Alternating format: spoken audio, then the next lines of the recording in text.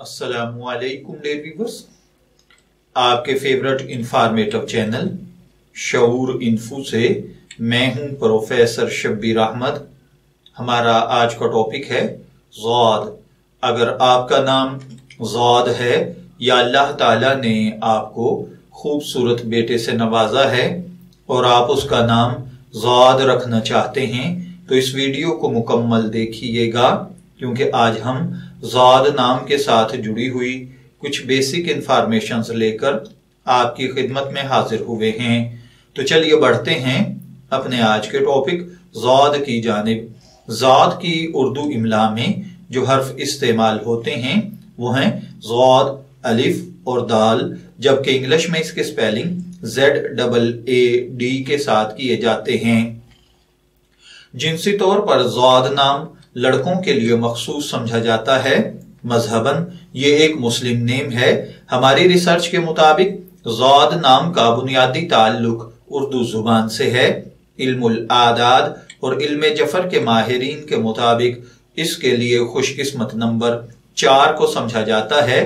दीगर खुशकिस्मत नंबर्स में एक, दो, तीन छ नौ, पंद्रह और चौबीस के नंबर शामिल हैं। इसके लिए खुशकिस्मती का वक्त शाम सात बजे से रात नौ बजे तक का है। खुशकिस्मती के अयाम में बुध, जुमा और हफ़्ता के दिन शामिल हैं। खुशकिस्मती के कलर्स में पीला, नीला और सफ़ेद रंग शामिल हैं। खुशकिस्मती के अयाम में बुध, जुमा और हफ़्ता के दिन शामिल हैं। इसका हाकिम स्यारा जोहरा है। इसके लिए खुशकिस्मती के कलर्स में पीला, नीला और सफ़ेद रंग शामिल हैं। खुशकिस्मती का पत्थर हीरा है। खुशकिस्मती के दीगर पत्थरों में लाजवर्द, दूधिया पत्थर और सब्ज कीमती पत्थर हैं। अगर बात की जाए जाद नाम के हामिल लोगों में पाई जाने वाली खसूसियात की तो ये लोग अपनी ज़िंदगी में जरा भर भी परेशानी बर्दाश्त नहीं कर पाते। इनके लिए बहुत बड़ी मुसीबत बन जाती है।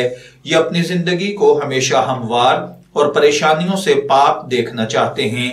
इल्मुल आदात और इल्म ज़फ़र के माहरीन के मुताबिक ये चीज़ें आपकी शख्सियत को बहुत ज़्यादा मुतासर करती हैं, जबकि इस्लामी नुक़ नज़र से इन चीज़ों में ऐसी कोई खासियत नहीं पाई जाती।